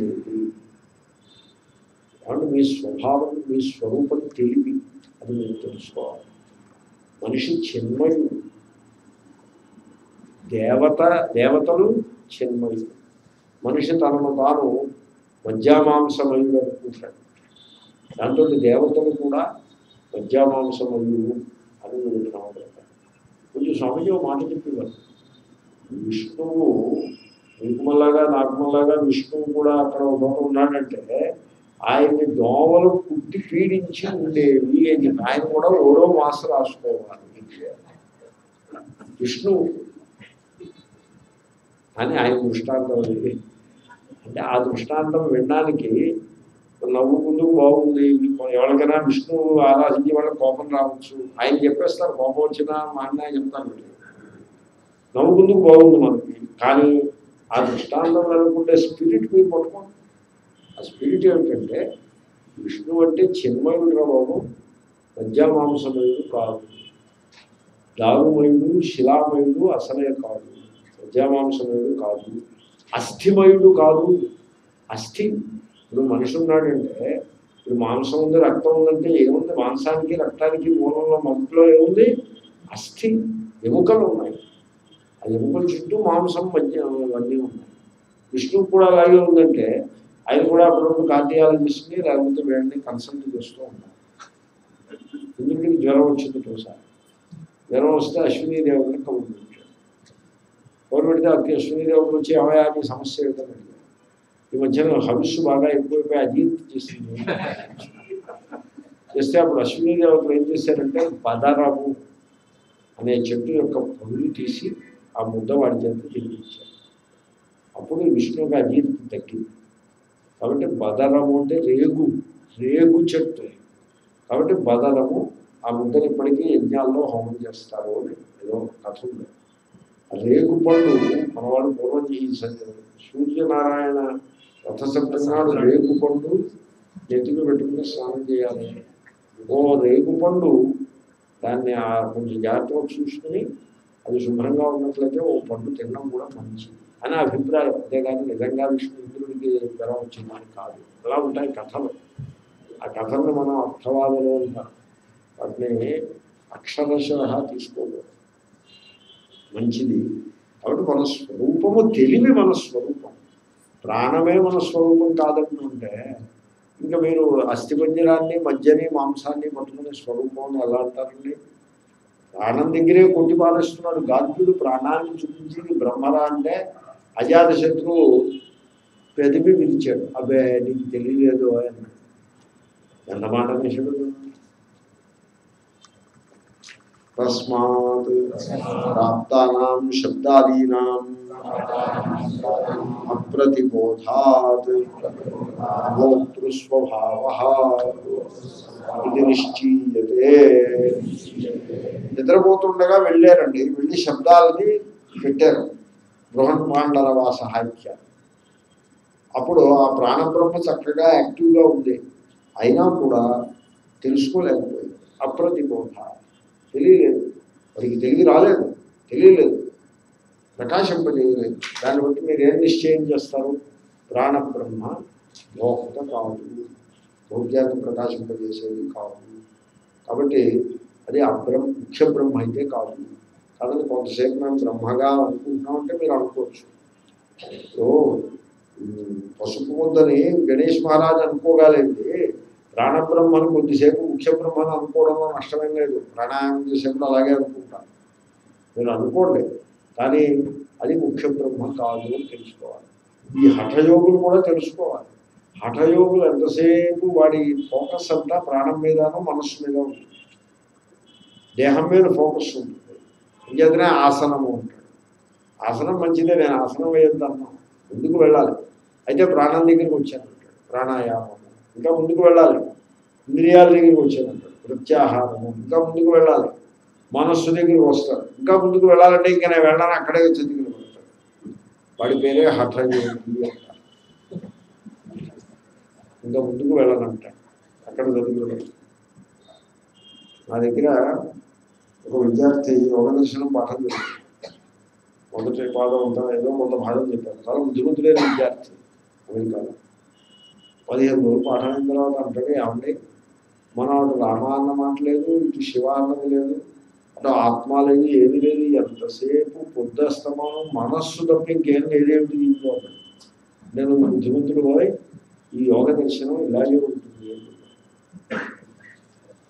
ఎందుకంటే వాడికి ఈశ్వరుడు అవన్నీ ఊరికే పెట్టుకున్నారు యోగంలో ఇంకా తప్పనిసరి పెట్టుకున్నారు తప్ప వాళ్ళ దృష్టి ఎంతసేపు మనస్సు మీదే ధారణ ధ్యానము సమాధి అన్నీ మనస్సుకే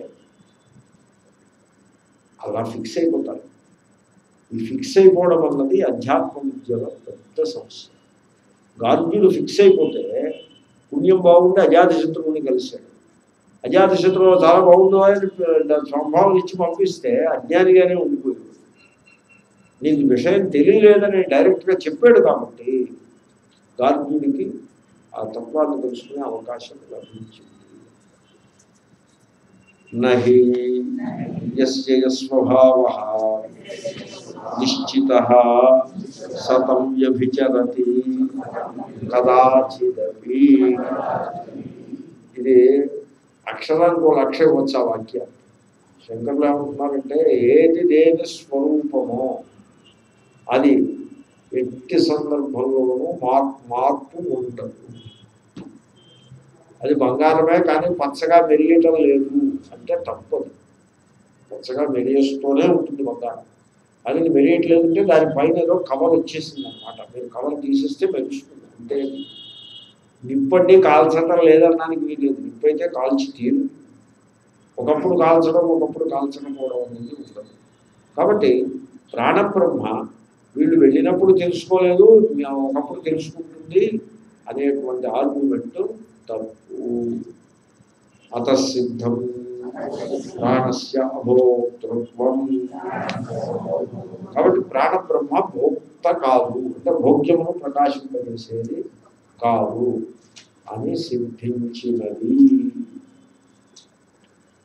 పూర్వపక్షం సంబోధనార్థానం అవిశేషేణ సంబంధాగ్రహణాత్ అప్రతిబోధ ఇది చే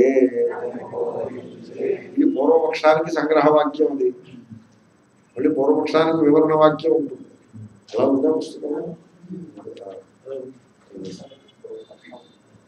ఇప్పుడు పూర్వపక్షం ఏంటంటే ప్రాణబ్రహ్మన బృహన్ పాండరవాస సోమరాజన్ అని పిలిచినప్పుడు ప్రాణబ్రహ్మ ఆ భోగ్యాన్ని ప్రకాశింపజేయలేదు తెలుసుకోలేకపోయింది. కాబట్టి బ్రహ్మ కాదు. అంటే ఆ పేర్లను గుర్తుపట్టలేకపోయింది. కాబట్టి బ్రహ్మ కాదు. ముఖ్య బ్రహ్మ కాదు అన్నారు కదా. అలా అక్కర్లేదయా? ముఖ్య బ్రహ్మ ఇది కూడా తెలుసుకునేది అయి ఉంది కూడా ఎవళ్ళనో మరొకళ్ళని పిలుస్తున్నారు. నన్ను కాదని అనుకోవచ్చు కదా. తెలుసుకునేదే. ఇప్పుడు పది మంది కూర్చుని ఉన్నారండి. ఒకడు ఉన్నాడు మధ్యలో. వాడి పేరు రామయ్య. ఏమో రామయ్య అని పిలిచాను విన్నాడు ఎవడో ఏదో పిలుస్తున్నాడు అనుకున్నాడు తప్ప ఆ పిలుస్తున్న పేరు రామయ్యేనని తన పేరే పిలుస్తున్నాడని అనుకోలేదు. అంతే అంత మాత్రమే అనుకోలేదు. ఎవడో ఏదో పిలుస్తున్నాడని అనుకున్నాడు. కాబట్టి ఆయన తలకాయ తిప్పలేదు. అదిగో తలకాయ తిప్పలేదు కాబట్టి రామయ్య బ్రహ్మే కాదు వాడికి తెలివే లేదు అని ఎలా అంటారు మేము కాబట్టి ఆ పేర్లు తనవే. అని తెలిస్తేనే గుర్తింపడం గుర్తించడం అనేది ఉంటుంది కదా అది మళ్ళీ పూర్వపక్షం సో సంబోధనార్థ నామ విశేషం. ఇందాక నేను ఏదో సంబోధనార్థనామన్నా ఏమి? సంబోధనార్థ నామ విశేషేణ సంబంధాగ్రహణ. సంబోధించడం కోసం పర్టికులర్ నేమ్స్తో పిలిచాడు విశేషనామాలతో పిలిచాడు. బృహన్ పాండరవాస సోమరాజన్ అని పిలిచాడు. అంతేగాని ఏమోయ్ ఏమండోయ్ అలా పిలవలేదు. విశేషనామాలతో పిలిచాడు సంబోధించడం కోసం. పిలిచినప్పుడు ఆ విశేషనామాలు నా పేర్లే అని ఆ ప్రాణబ్రహ్మకి తెలుసుకోలేదు. ప్రాణబ్రహ్మకి తెలుస్తుంది. ప్రాణబ్రహ్మ తెలివి ఉంది భోక్తే. భోక్త అయితే సరిపడదు. ఆ విశేషనామాలు నానామములే అని సంబంధాన్ని కూడా గ్రహించాలి. రామయ్య అని పిలిచారు. పది మంది ఉన్నారు. పది మంది తలకాయ తిప్పుతారా? తిప్పరు. ఎందుకు తిప్పరు? అంటే వాళ్ళకి వినపడలేదు. ఆ వినపడకపోవడం కాదయా అందరికీ వినపడింది. వినపడింది. మరి ఎందుకు చెప్పలేదు తలకాయ? ఆ నామము నా నామమే అనే సంబంధాన్ని కూడా తెలుసుకోవాలి. నామం తెలిస్తే సరిపడదు. సంబంధాన్ని కూడా తెలుసు గ్రహణం అంటే తెలియడం. ఆ సంబంధ గ్రహణం ఉన్నప్పుడే వాడు తల తిప్పుతాడు. అలాగే ప్రాణబ్రహ్మకి శబ్ద శబ్దమును ప్రకాశింపజేసే సామర్థ్యం ఉంది. కానీ బృహన్ పాండరవాస సోమరాజన్ అనే పర్టికులర్ నేమ్స్ అవి తన పేర్లే అని దానికి తెలియలేదు. అందుకోసం రిప్లై ఇవ్వలేదు. కాబట్టి ప్రాణబ్రహ్మ భోక్తే కాదని మీరు అన్నది సరికాదు పూర్వపక్షం.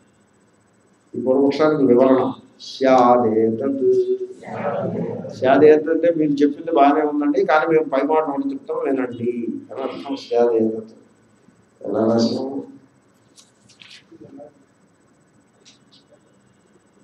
ఇది ఎలాగంటే ఆ స్యాదేతత్ అంటే ఇది ఎలాగంటే ఇది చేయదు స్యాదేతత్ ఏతత్ స్యాద్. ఇలా కూడా ఉండొచ్చు. ఏతత్ స్యాద్. ఇలా ఉండొచ్చు. ఎలా ఉండొచ్చు? ఇగో ఎలాగంటే ఇది ఎలాగంటే అదే అర్థం. ఓకే? ఇది ఎలాగంటే యథా బహుషు ఆసీనేషు స్వనామ విశేషేణ సంబంధాగ్రహణాత్ మామయం సంబోధయతి ఇది శృణ్వన్నపి సంబోధ్యమాన విశేషత ప్రతిపద్యతే అని దృష్టాంతం యథా ఎలాగంటే బహుషు ఆసీనేషు. చాలామంది కూర్చుని ఉన్నారు. కూర్చుని ఉంటే మోకాళ్ళు వచ్చి పిలిచారు. ఏదో పేరు పెట్టి పిలిచారు. ఆ పేరు ఒక విశిష్టమైన పేరు ఒక పర్టికులర్ పేరు. ఆ పేరుతో తనకు గల సంబంధం. ఏమిటది? అది నా పేరే అని తెలియాలి కదా. ఆ పేరు వినా ముందు పేరు వింటాడు. రామయ్య అనే మాట వినపడుతుంది. ముందు ఏం వినపడుతుందో తెలుసునండి ఎవడో పిలుస్తున్నాడు అని తెలుస్తుంది. అలా తెలిసిన వెంటనే నన్నే పిలుస్తున్నాడు అనుకోడు రామయ్య అనే పేరు పెట్టి పిలిచాడు అని తర్వాత తెలుస్తుంది వెంటనే నన్నే పిలిచాడు అనుకోడు ఆ పేరు నాదే అని తర్వాత తెలుస్తుంది అప్పుడు నన్ను పిలుస్తున్నాడు అని అన్ని స్టెప్స్ ఉంటాయి దాంట్లో. స్వనామ విశేషేణ. ఆ ఆ పేరు నాదే వాడు పిలుస్తున్న పేరు నాదే అని వీడికి తెలియలేదనుకోండి. అని వీడు గుర్తుపట్టలేదు అనుకోండి సంబంధాగ్రహణ. అప్పుడు వాడు వీడు నన్ను పిలుస్తున్నాడు అని వింటూ ఉంటాడు. శృణ్వన్నపి పిలుస్తున్నాడని వింటాడు. కానీ నన్నే పిలుస్తున్నాడు. ఇంతమందిలో పర్టికులర్గా నన్నే పిలుస్తున్నాడు అని గుర్తుపట్టకపోవచ్చు. అలా ఉంటుంది. అంటే ఏమిటి? ఆ నా పర్టికులర్ పేరుకి తన పేరు అనే సంబంధాన్ని తెలియకపోవడం కాబట్టి ఇక్కడ శబ్దము తెలియకపోవడం కాదు. శబ్దాన్ని ప్రకాశింపజేస్తోంది కానీ ఆ శబ్దము పేరని ఆ పేరు తనదని ఆ మాత్రం తెలియలేదు. అంత మాత్రం చేత అసలు భోక్తే కాదని నువ్వు ఎగరగొట్టేస్తావు ఏంటి అని పూర్వపక్షం తథా ఇమాని బృహన్నిత్యేవమాదయని మమ నామాని ఇది అగృహీత సంబంధత్వాత్ ప్రాణో న గృహ్ణాతి సంబోధనార్థం శబ్దం నతు అవిజ్ఞాతృత్వాదేవా ఇది చేత్ నా వాక్యాలను మరి మీరు ఓపికగా పట్టుకోవాలి. కొంచెం సంస్కృత భాష కూడా ఇంత గంభీరంగా ఉంటుంది. మామూలుగా జహ మేకాకి జహ ఏనుగు అన్నట్టు ఉండదు. కొంచెం గంభీరంగా ఉంటుంది. భాష్యకారుల యొక్క ప్రధానమైన భాష్యం. అదేవిధంగా తథా అదేవిధంగా అయా ప్రాణదేవతను పిలవడానికి వీళ్ళు శబ్ద ప్రయోగం చేశారు చూడండి. ఆ శబ్దాలని ప్రాణదేవత అసలే వినలేదు అని నువ్వు ఆ ప్రాణదేవత వింది. ప్రాణదేవత భోక్త కాదు అని వరకు ప్రాణదేవత భోక్తయే. నతో అవిజ్ఞాతృత్వాత. ప్రాణదేవత అవిజ్ఞాత తెలుసుకునేది కాదు అని అనద్దు. తెలుసుకునేదే. మరి అయితే రిప్లై ఇవ్వలేదేమి అంటే బృహన్ అంటే నేనే అని ప్రాణదేవతకి తెలియదు పాండరవాస అంటే నేనే అని ప్రాణదేవతకి తెలియదు సోమరాజన్ అంటే నేనే అని తెలియదు అంత మాత్రమే తెలియదు అందుకోసమని ఆ ప్రాణదేవత పేర్లు పెట్టి ఏదో పిలుస్తున్నారని తెలిసి కూడా అది రిప్లై ఇవ్వలేదు. కాబట్టి ప్రా ఆ బేసిస్ మీద ప్రాణదేవత భోక్త కాదు అని నిర్ధారించుట తాగాదు తెలిసిందండి? నా ఇది శంక. దానికి రిప్లై ఇస్తున్న ఏమనిస్తున్నారో చూసిన శంకర్లో ప్రాణదే బ్రహ్మ కదా అది. దేవత కదా దేవదయుడిని తెలియకూడదు ఏమిట్రా? అందులో ఉపాసన అంటాడు వీడు. నేను శక్తిని పిలిచాను కానీ ఆ శక్తి నన్ను తనని పిలుస్తున్నాను అనుకోలేదంటే అది- అది ఎలా కుదురుతుందా? ఉపాస్యమైన దేవతకి పేరు పెట్టి పిలిస్తే అది తన పేరు అవును కాదో డౌట్ రావడము లేదా తన పేరు కాదనుకోవడము అంచేతలు మాట్లాడుకుంటుకోవడము అలా కుదురుతుందా? అలా కుదరదు. దేవతాభ్యుపగమే అగ్రహణానుపపత్తే. ప్రాణము దేవత అంటావా కాదంటావా? దేవత వీడు ఉపాసన చేశాడు కదా. దేవతాన్ని స్వీకరించినప్పుడు తెలియలేదు దేవతకి? అనే మాట అంగీకారం కాదు. కాబట్టి మీరు పూజ చేసినప్పుడు మేము పూజ ఏం చేసామండి దేవతకి మేము చే- పూజ చేసినట్టుగా గుర్తుపట్టలేదండి అలా ఎలా ఉంటుంది దాన్ని వివరిస్తున్నాం యస్య హి చంద్రాద్యభిమానిని దేవత. అధ్యాత్మం ప్రాణ. భోక్త అభ్యుపగమ్యతే. యస్య అంటే ఏ ఏ గార్గ్యులకైతే గార్గ్యుడి ఆయన లక్షణం ఏమిటంటే చంద్రమండలము గల చంద్రమండలానికి అభిమాని దేవత చంద్రపురుషుడు. చంద్రమండలాంతర్గత పురుషుడు. ఆ పురుషుడే అధ్యాత్మంలో ప్రాణదేవత అయి ఉన్నాడు అని వాడి ఉపాసన యొక్క లక్షణమేది. పైగా చంద్రమండలాంతర్గత పురుషుడే ఈ దేహంలో ప్రాణరూపంగా ఉండి కర్త భోక్త అన్నీ చేస్తూ ఉండడమే కాదు అన్నీ తెలుసుకుంటూ ఉన్నాడు అని వాడు ఉపాసన చేశాడు. చేసి అదే ముఖ్య బ్రహ్మని చెప్పాడు. అజాతశత్రువుడు ఆ నువ్వు చెప్పక నాకని చెప్పేసి ఆయన కొట్టి పారేశాడు. కాబట్టి ఆ గార్గ్యుడినే తీసుకెళ్ళాడు. ఆ గార్గ్యును ఉపాసన చేసి దేవత పేర్లతోనే పిలిచాడు. పిలిచిన ఆ ప్రాణశక్తి రిప్లై ఇవ్వలేదు. కాబట్టి ప్రాణశక్తి భోక్త అయ్యుండి కూడా రిప్లై ఇవ్వలేదు అనే ఆర్గ్యుమెంట్ తప్పు తప్పు. కాబట్టి ఏం జరుగుతుంది? ప్రాణశక్తి భోక్త కాదు. ఈ పాఠం శక్తి ఉపాసకులు విన్నారంటే కుర్చీలోంచి కింద పడుకుంటారు ఎందుకంటే వాళ్ళ ఫోకస్ అంతా కూడా శక్తి మీద ఉంది. శక్తి పవర్ శక్తే తప్ప చైతన్యం మీద ఉండదు. తెలివని మాట అన్ను కూడా అంటాం మాట వరుసకు కూడా అనుకో యాదేవి సర్వభూతేషు చితి రూపేణ సంస్థిత అని ఉంటుంది. దేవి చితి రూపేణ అది పట్టుకోకూడదు. అది పట్టుకోవాలి. యాదేవి సర్వభూతేషు నిద్రారూపేణ సంస్థిగా పట్టుకుంటాడు. యాదేవి సర్వభూతేషు చితి రూపేణ సంస్థిగా పట్టుకోవాలి. నన్ను ఒకసారి లలితా సహస్రనామం మీద ఉపన్యాసం చెప్తున్నారు. న్యూ జెర్సీలో నేను లలితా సహస్రనామం నేను ఈ మధ్యకాలంలో చూడలేదా ఎప్పుడో ఒప్పుడు చూశాను. వాటన్నింటినీ దాటుకుని ఇక్కడికి వచ్చాం బృహదారంగిక భాష్యంలో పడ్డాం వచ్చి ఇప్పుడు మళ్ళీ నన్ను లలితా సహస్రనామం అదే చెప్పాలి. అలాగంటే సందర్భం వచ్చింది. కొంచెం స్వామీజీ కూడా వాళ్ళకి లలిత క్యాన్సిల్ చేశాను. నేను. ఏం చేశానంటే స్వామీజీతో పాటుగా ఏదో ప్రోగ్రామ్కి వెళ్ళాలి అని చెప్పి క్యాన్సిల్ చేశాను. క్యాన్సిల్ చేస్తే వీళ్ళు ఏం చేశారంటే ఆయన భోజనం చేస్తుంటే ఆయన దగ్గరికి వెళ్ళి కంప్లైంట్ చేస్తున్నట్టుగా కాకుండా స్వామీజీ మేము కూడా మీ ప్రోగ్రామ్కే వస్తున్నాము అని చెప్పారు. అని చెప్పాను వీళ్ళు నలుగురు ఐదుగురు. లేడీస్ చెప్తే ఆయన ఊహ అలాగే మంచిదే రండి అన్నారు ఆయన. ఫిలడెల్ఫియా అంటే మేము ఒరిజినల్గా మాకు న్యూజెర్సీలో ప్రోగ్రామ్ ఉండే అది క్యాన్సిల్ అయింది అధ్యత మేము మీ ప్రోగ్రామ్కి వస్తున్నామని అన్నారు. అంటే మంచిది వచ్చేసేయండి అని ఏ ప్రోగ్రాము ఎందుకు క్యాన్సిల్ అయింది అని మాట వరుసగా అడిగారు. ఆయన వీళ్ళు దానికోసమే వెయిట్ చేస్తున్నారు ఆయన. ఆయన ఫోన్ చేస్తుంటే పక్కన నిలబడి పురాజు వడ్డిస్తూ అది వెయిట్ చేస్తున్నారు. అంటే తత్వదారుడు గారి ప్రోగ్రాము క్యాన్సిల్ అయింది. ఎందుకు క్యాన్సిల్ అయింది అని ఆయన ముద్ద రోడ్లో పెట్టుకుంటే ఆయన ఆగి ఎందుకు క్యాన్సిల్ అయింది అంటే ఆయనే క్యాన్సిల్ చేశారు. ఎందుకు క్యాన్సిల్ చేశారు? ఏమో మరి మాకు తెలియదు బహుశా మీ ప్రోగ్రామ్కి ఆయన కూడా రావడం కోసం క్యాన్సిల్ చేసుకుంటారు అంటే అప్పుడు ఆయన ఒకసారి పిలవడంటే నేను వెళ్ళాను. అంటే ఆవిడ క్యాన్సిల్ చేశారు ఆవిడ క్యాన్సిల్ చేశారు. ఎందుకంటే నేను మీ ప్రోగ్రామ్కి వస్తున్నానండి రెండు మీరు వాళ్ళకి చెప్పండి అని చెప్పేశాను అంటే అది ఎలా? లలితా సహస్రనామం సోమి చేసి అది అందుకోసం కాదు పర్వాలేదు. లలితా సహస్రనామం చెప్పండి. ఇప్పుడు నేను ఏం చేశానంటే లలితా సహస్రనామంలో వేదాంత నామాలను ఏరి అవే చెప్పాను వాళ్ళకి.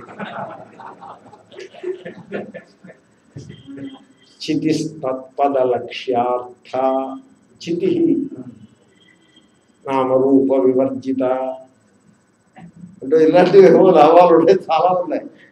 అవి చెప్పారు. కుండలిని శక్తి అవి చెప్పలేదు. ఆధార శక్తి అవేం చెప్పలేదు.